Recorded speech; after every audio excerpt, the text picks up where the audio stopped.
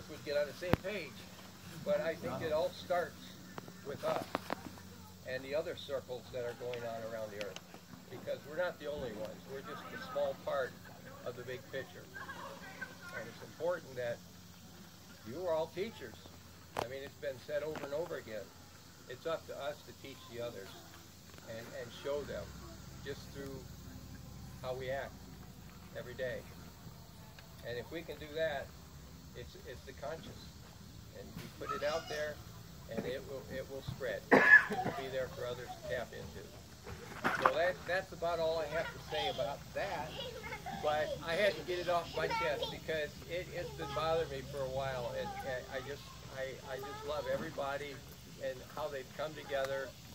And as Carrie and I discovered, if you don't charge for something, there's no expectations. There's no expectations, there's no friction. Nobody says, oh, how come I didn't get this or how come I didn't get that? Well, it's all here, it's free. So how can you say anything bad about it? We're all on the same page.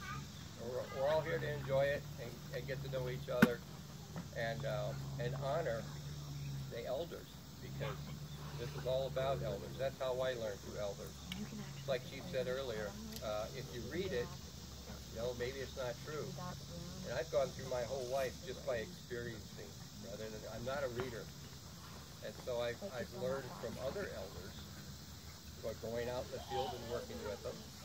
And it, it's, it's been very rewarding because I know what I'm getting is the truth. And that's what this is all about. It's not about sitting and reading a book and listening to someone's doctrine. It's all about experiencing it. And this is our experience right now. Look at it. It's wonderful.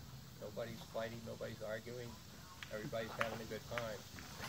So let's just go out from here and, and continue on and um, and be blessed. I think we all are. So now